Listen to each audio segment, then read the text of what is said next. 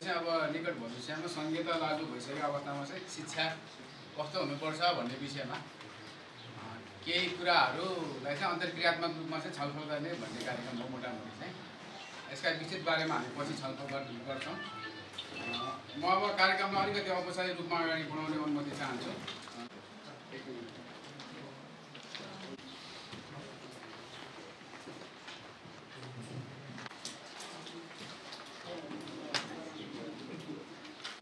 हुने गर्छ होइन। म यो कार्यक्रमको अध्यक्षताको लागि चाहिँ आयोजन सानो गर्ने कोसिस गरिरहेछ त्यसलाई चाहिँ हामीले अनुरोध अघि साथीहरू जो हाम्रो निमन्त्रणलाई स्वीकार गरेर जस्तो मकवानपुर च्याप्टरबाट हामीसँग दसजना साथीहरूलाई गर्दछु। हामीसँग स्मल हेभन मोडलका प्रिन्सिपल पनि कृष्णको त्यहाँ देखिरहेको छु। आदि भन्ने बारेमा आजको अध्यक्षता गरिरहनुभएका हाम्रो अध्यक्ष जीव कुमार भट्टराई सरलाई चाहिँ स्वागत सँगसँगै कार्यक्रमको उद्देश्यमाथि प्रकाश पारिदिन अनुरोध गर्दछु दुई हजार तिनदेखि यो हामी कहाँ अहिले क्रियाशील रहँदै आएको छौँ त्यसमा। यो सार्वजनिक शिक्षाको सुदृढीकरणका सन्दर्भमा यसले आफ्ना कामहरू आफ्नो गतिविधिहरूलाई अगाडि बढाउँदै आएको सन्दर्भ छ।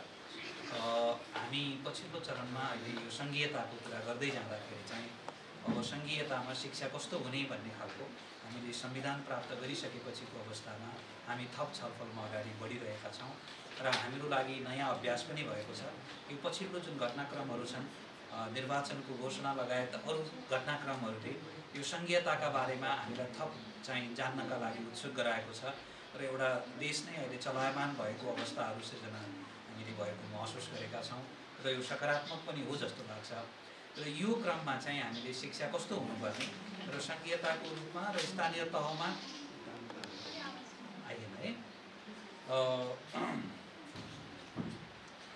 स्थानीय तहमा भनौँ न अहिले जुन जसरी अधिकारहरू प्रत्यायोजन भएर गएका कुराहरू सुनिन्छन् हामीले त्यो शिक्षाको कुरा चाहिँ कस्तो हुनुपर्छ भनेर यो खालको बहस छलफल चाहिँ नितान्त आवश्यक रहेको सन्दर्भ थियो र हामीले प्रदेश प्रदेशमा गएर यो खालको छलफलहरूलाई हामीले अगाडि बढायौँ। विभिन्न चाहिँ स्टेक होल्डरहरूलाई हामीले आमन्त्रण गऱ्यौँ र हामी सँगै बसेर के कस्ता कुराहरू हुन् हाम्रा बुझाइहरू के छन् हाम्रो चाहिँ अहिले जुन संविधानले भनेका कुराहरू के हुन् र यो कसरी जानुपर्छ भन्ने सन्दर्भमा हाम्रा बुझाइहरूलाई अझै स्पष्ट पार्ने हिसाबले हामी विभिन्न प्रदेशहरूमा हामी गयौँ र यही खालको छलफलहरू हामीले अगाडि बढायौँ र अहिले हामी यो तिन नम्बर प्रदेशमा हामी आएका छौँ। र हामी मैले भने यसको मूल उद्देश्य भनेको यो कन्सेप्चुअल क्लारिटी ल्याउने हिसाबले यसको चाहिँ अवधारणात्मक स्पष्टता ल्याउने हिसाबले हो चाहिँ के त यो? सङ्घीयतामा शिक्षा कसरी अगाडि बढ्छ? र स्थानीय जुन हामीले चाहिँ लेभलको कुरा गरेका छौँ त्यो तहमा गएर शिक्षालाई कसरी चाहिँ हामी चाहिँ बुझ्छौँ र त्यसलाई लैजान्छौँ इम्प्लिमेन्ट गर्छौँ भन्ने हो। र हामीले जुन तल्लो तहको स्थानीय निकायको कुरा गर स्थानीय तहको हामी कुरा गर्दैछौँ त्यो अहिले सर्वशक्तिमान भएको सन्दर्भमा चाहिँ शिक्षालाई त्यहाँ कसरी हामी बुझ्छौँ र त्यसलाई कसरी लैजान्छौँ भन्ने बुझाइ हामी सबैलाई चाहिएको अवस्थामा यो एकदमै समसामयिक समयमा हामी अहिले चाहिँ यो कार्यक्रमलाई अगाडि बढाइरहेका छौँ जस्तो हामीलाई लाग्दैछ। र यहाँहरूको यो उपस्थितिका लागि हामी हार्दिक धन्यवाद भन्न चाहन्छौँ फेरि पनि। र यो आयोजनामा हामीलाई अब समन्वय समिति हामीले यो एनसिईको जुन एउटा मेम्बरसिपमा जाने कुराहरू छन् त्यसको स्ट्रक्चरको कुरा हेऱ्यो भने पनि हामी जिल्लाहरूमा यो यो खालको समन्वय समितिहरू कोलिसनहरू जिल्लामा गठन गर्ने र त्यहाँ नै शिक्षा क्षेत्रमा लागेका सङ्घ संस्थाहरू हामी जुटेर भनौँ न यसको ब्युटीको पार्ट के छ भने हामी सबै एनजिओ एनजिओ लगायत शिक्षक समुदायबाट पनि पत्रकारको क्षेत्रबाट पनि यसमा हामी सदस्य भएर अगाडि जाने एउटा प्लेटफर्मको रूपमा यसले विकास गरेको छ। हामीले जिल्लाको सन्दर्भमा पनि हामी त्यो ढङ्गले त्यसरी समन्वय समितिहरू एनसिईका समन्वय समितिहरू जिल्लामा भएर यसलाई चाहिँ अगाडि बढाउने प्रक्रियामा हामी छौँ। अहिले विभिन्न जिल्लामा हामी दुई सय छयासी चाहिँ यसको सदस्य संस्थाहरू रहेका छौँ। र जिल्लाहरूमा जिल्ला कोलिसनहरूले यसरी एक्टिभली काम गरिरहेको सन्दर्भ छ। र हामी जिल्लाको सन्दर्भमा चाहिँ यसलाई एनसिईको भनौँ न एउटा अटोनोमस यसले आफ्नै खालका कामहरू गतिविधिहरू सृजनशील कामहरू शिक्षाका क्षेत्रमा र विशेष गरी सार्वजनिक शिक्षाको सुदृढीकरणका लागि चाहिँ जिल्लाकै चाहिँ स्तरमा पनि आफैले कार्यक्रमहरू बनाउने योजना गर्ने र हामीलाई केन्द्रको लेभलमा जानकारी दिएर कामहरूलाई अगाडि बढाउने यस्ता खालका सृजनशील कामहरू पनि अगाडि बढिरहेको सन्दर्भ छ। हामी अहिले चितवनमा छौँ चितवन समन्वय समिति छ र यसको अध्यक्षमा अहिले दियालो परिवार हुनुहुन्छ। र उहाँहरूले यो जुन खालको कामहरू गतिविधिहरू समन्वय गर्ने र अरू गतिविधिहरूमा पनि त्यत्तिकै क्रियाशीलता देखाउने जुन काम भइराखेको छ यो हाम्रा लागि उदाहरण बनेको छ। अरू जिल्लाहरूका लागि पनि यो उदाहरण बन्न सक्छ जस्तो मलाई लाग्छ। आजको छलफलमा हामी विस्तृत विस्तारमा हामी कुरा गर्नेछौँ। वास्तवमा नीतिगत तवरले यो सङ्घीयतामा शिक्षालाई कसरी डिफाइन गरिएको छ र अरू जिल्लाहरूले के भने हामीले अन्तिममा आजको भनौँ न आज हामी दुई चार घन्टा कति घन्टा बस्छौँ र त्यसपछिको अवस्थामा हामीले गरेका कुराहरूको निचोडमा एउटा सानो घोषणापत्र पनि जारी गर्ने हामीले चाहिँ त्यो त्यो प्रक्रिया र त्यो पद्धति हामीले अप्नाउँदै आएका छौँ। तर यी सबै प्रदेशहरूमा यी खालका घोषणापत्रहरू त्यसका मेजर कुराहरूलाई लिएर हामी केन्द्रमा पनि एउटा केन्द्रीय स्तरको यो बहसलाई हामी गर्छौँ। यो जिल्लाहरूको बुझाइ के छ र यो कुराहरू के आयो भन्ने कुराहरू लिएर गएर हामी केन्द्रमा पनि यो छलफल अगाडि बढाउने हाम्रो प्रक्रिया रहेको छ र यसमा अरू जिल्लाहरूको पनि के अनुभव छ त्यो पनि हाम्रो प्रस्तुता महासचिव दिल्लीराम सुवेदी हुनुहुन्छ। उहाँले केही कुराहरू भन्नुहुनेछ। यो अलिकति बुझाइ हाम्रो यो चाहिँ प्रदेशमा जाने बित्तिकै चाहिँ फरक। खालका कुराहरू चाहिँ आउने रहेछन्। हामी चार नम्बर प्रदेशमा गयौँ। उहाँहरूले दिने प्रायोरिटीका कुराहरू शिक्षामा केले प्राथमिकता पाउनुपर्छ भन्ने कुराहरू फरक पायौँ हामीले। हामी विराटनगर गयौँ।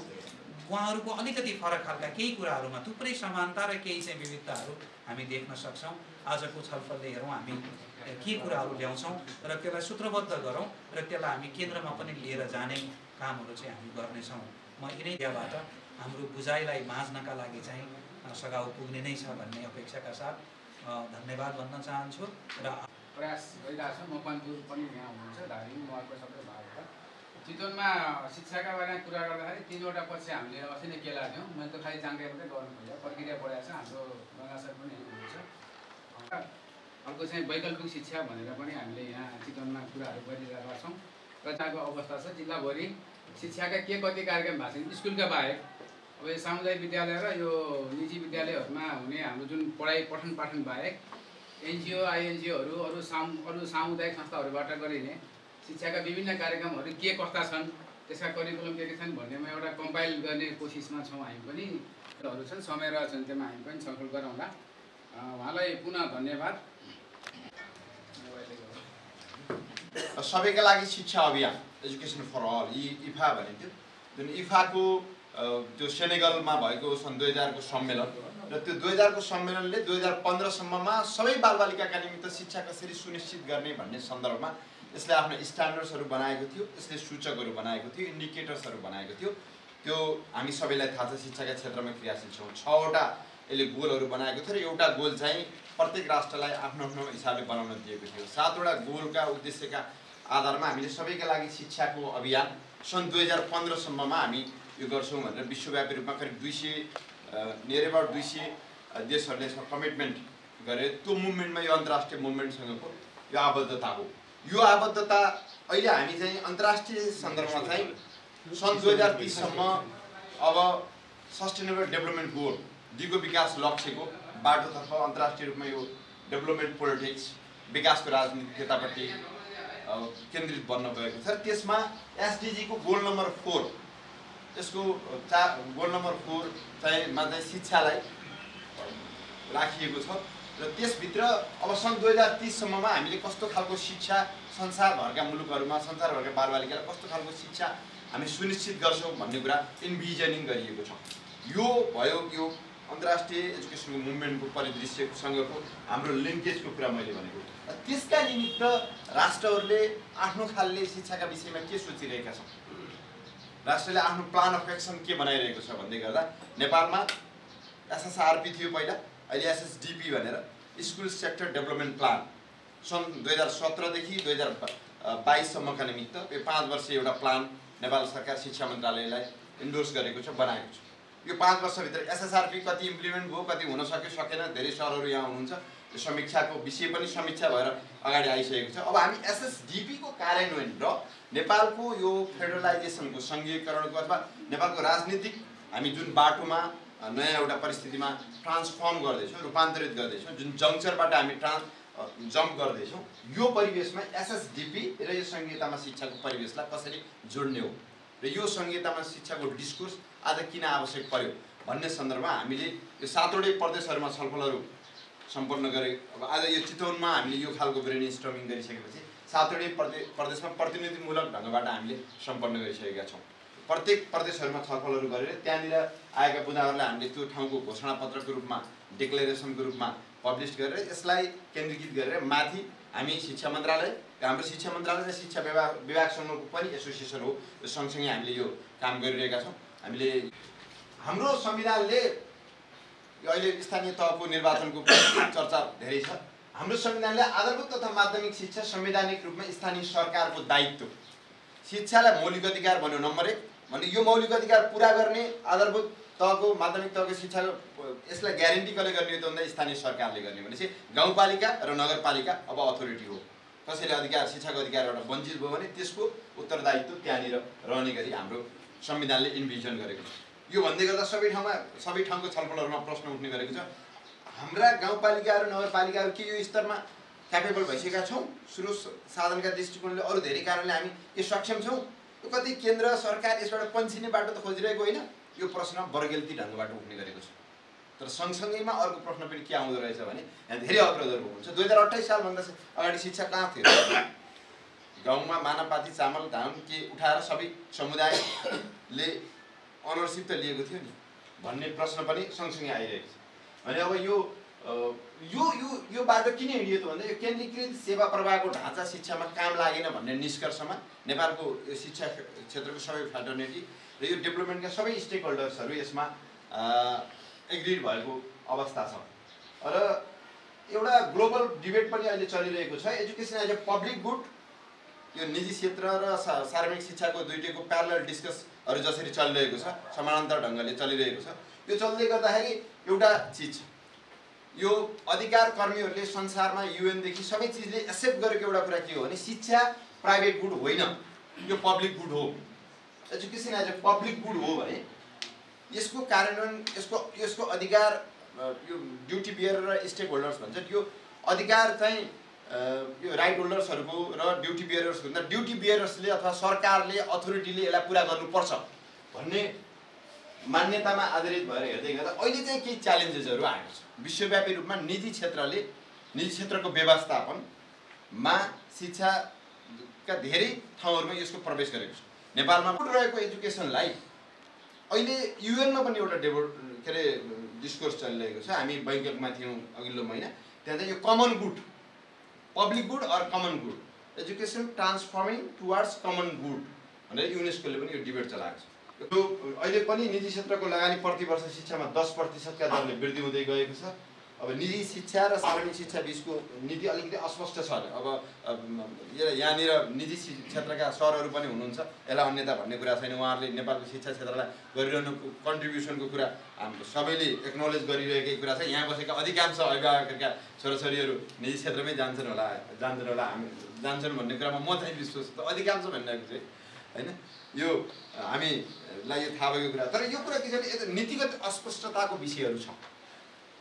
व्यवस्थापनको कुरा नीतिलाई दिन पनि सकिन्छ। कतिपय ठाउँमा यो खुला ढङ्गले छलफल हुन भइ- भइरहेको छैन। व्यवस्थापनको कुरा निजी व्यवस्थापन हुने र सरकारले फन्डिङ गर्ने कुरा प्राइभेट पब्लिक प्राइभेट पार्टनरसिपको एउटा मोडालिटीको विषय त्यो हुन पनि सक्छ।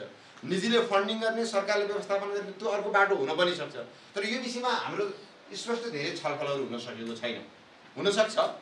हुनसक्छ एउटा छलफल इमेजिनेसन कुरा। यो सहरी क्षेत्रहरूमा समुदायमा नै विद्यालयहरू चलाउने कुरा त्यहाँको समुदायले सार्वजनिक विद्यालयलाई ओनरसिप लिन सक्दैन। निजी विद्यालयहरू जो जसले चलाइरहेका छन् कम्पनी ऐनमा नरहेका तर यो नाफारहित विद्यालयहरू जो जो छन् तिनीहरूले तिनीहरूलाई व्यवस्थापन गर्न दिने प्रति विद्यार्थी पर हेड भौचर दिने खालको सिस्टम सरकारले सहरी क्षेत्रमा ल्याउन पनि सक्छन्। त्यो नगरपालिकाले लिएर आउन पनि सक्छन्। भनेको अब त नगरपालिका र गाउँपालिकालाई छुट्टै शिक्षा ऐन प्रमोलगेट गर्ने ऐन बनाउन सक्ने सम्मको अधिकार दिने गरी संविधान अगाडि आएको छ। भनेपछि हाम्रो स्थानीय कुरा के हो? अब शिक्षा ऐन यति हो यो भनेर केन्द्रको मात्र कुरा छैन। केन्द्रले कुनै गाइडलाइन्सहरू बनाउँछ नीतिगत कुराहरू बनाउँछ तर तलै त्यो त्यो ढङ्गबाट विषयवस्तुहरू आएको छ। यसरी यो यो सन्दर्भमा त्यसरी फराकिलो छलफलहरूको जरुरी छ। र त यो सबै छलफलको चुरो चाहिँ के हो भने शिक्षा चाहिँ सार्वजनिक सम्पत्ति नै हो है। यो यस एकदम बेच्ने यो प्राइभेट गुड्स होइन भन्ने विषयमा हामीले नेपाल सरकारले गरेको अन्तर्राष्ट्रिय कमिटमेन्टहरू र हाम्रो संविधानले त्यो स्पिरिटलाई बोकेको छ। यो दिगो विकास लक्ष्य अ, गोल्नको लक्ष्य नम्बर चारमा हामीले पहिला दुई हजार पन्ध्रसम्ममा मिलिनियम डेभलपमेन्ट गोल सह विकास लक्ष्यले सबैका लागि शिक्षा एजुकेसन फर अल भनेको थियो। त्यो एजुकेसन फर अलको पहिलो टार्गेट के थियो भने एक्सेस पुर्याउने विद्यालयको हाताभित्र विद्यालय जाने उमेरका बालबालिकाहरू विद्यालयको हाताभित्र जसरी पनि पुर्याउने भन्ने। नेपाल सरकारले पनि हाम्रो official तथ्याङ्कमा ninety six point four percentage बालबालिका आज पनि आज विद्यालयको हाताभित्र छन् भन्ने कुरा छ। र संसारभर तपाईँहरूका बिचमा सेयर गर्नुपर्छ यो पछिल्लो दस वर्षमा पछिल्लो दस वर्षमा शिक्षाको विद्या विद्यालयमा बालबालिका पठाउने दर र मातृ शिशु मृत्युदर र बाल मृत्युदरको रेसियो दर दुईवटा घटाउने कुरामा एकदमै त्यो घटाउने र विद्यालय बालबालिका धेरै पठाउने रेसियोमा एकदम क्रान्तिकारी उपलब्धि हासिल गरेका संसारका पाँच देशहरूभित्र नेपाल पनि पर्छ। युएनले युएनको रिकग्निसनमा डब्लुएचओको रिकग्निसनमा यो पाँच देशहरूभित्र नेपाल पनि पर्छ। हामीले त्यो त्यो हाम्रो साठी पैँसठीको पर पै साठीदेखि पैँसठी पर्सेन्टेजको बिचमा थियो। पछिल्लो दस वर्षमा हामीले यसलाई नाइन्टी सेभेन पर्सेन्टेजको रेसियोमा त्यो त्यो त्यो तहमा पुर्यायौँ भने यता बाल शिशु मृत्युदर र मातृ शिशु मृत्युदरको कुरा पनि त्यही अझ त्यसभन्दा अझ बढ रिमार्केबल ढङ्गबाट तल घटेको छ। यो क्वालिटी अब पढाएर मात्र गर्ने यिनीहरूले पढा प्राप्त गर्ने शिक्षा गुणस्तरीय छ वा छैन भन्ने विषय चाहिँ छ। अब विद्यालय पठाउने कुरामा पनि अब तिन पर्सेन्ट बालबालिका त अझै पनि बाहिर छ राष्ट्रिय जनगणनाले भनेअनुसार त त्यो सात आठ लाखको सङ्ख्यामा पुग्छ। त्यो अब यो विकासको नारा विकासको अन्तर्राष्ट्रिय रूपमा यो विकास राजनीतिको डेभलपमेन्ट पोलिटिक्सको स्लोगन जसरी दिगो विकास लक्ष्य गयो। अगाडि सहस्राब्दी विकास लक्ष्य थियो अब दिगो विकास लक्ष्यमा आइसकेपछि दिगो विकासका लागि पनि यो सार्वजनिक शिक्षा बलियो चाहियो। बलियो सार्वजनिक शिक्षाले नै दिगो विकासलाई पनि यसलाई बलियो बल पुऱ्याउँछ भन्ने कुरा छ। सरकारको भूमिका त मैले अगाडि नै भने यो ऐन बनाउनेसम्मको कुरा छ भनिसकेपछि। यो जति पनि कमिटमेन्ट्सहरू सरकारले गरेको छ र हामीले जुन स्पिरिट बोकेका छौँ त्यो सबै चिजहरूको उत्तरदायित्व त्यसको अथोरिटी चाहिँ स्थानीय सरकारहरूको रूपमा अगाडि आएको छ। राष्ट्रिय व्यवस्थापनको कुरा अब रिसोर्स व्यवस्थापनको कुरामा तलबाट उठेको करको यो यो कर प्रणाली के हुने यसको वित्तीय व्यवस्थापन के हुने भन्ने कुरा अर्को अर्थ राजनीतिसँग जोडिएको बृहत्तर पाटो छ। तर त्यो हुँदै हुँदै गर्दाखेरि पनि के हो भने राष्ट्रिय रूपमा वित्तीय आयोग जो भन्छ त्यो वित्तीय आयोगले गर्ने बाँडफाँड र त्यो हाम्रो ह्युमन अबको अबको बाँडफाँड चाहिँ हाम्रो ह्युमन डेभलपमेन्ट इन्डेक्स जे छ त्यसका आधारमा हुने गरी वित्तीय आयोगले त्यो फर्मुला त्यो बाटो पकड्छ। पृष्ठभूमि सेट गरिसकेपछि आजको छलफलमा चाहिँ यो लामो धेरै गन्थन मन्थनको कुरा नगरिकन हामीले विशेष गरी पाँचवटा यो चाहिँ टिप दिनको निमित्त म अनुरोध गर्दछु। यो भन्ने कुरा छ। शिक्षामा सत्र अठार पर्सेन्टसम्म कुल बजेटको रकम पुगे पुगेको थियो हिस्सा। तर गुणस्तर को मेन्टेन कसरी गर्ने हो भन्ने कुरा छ।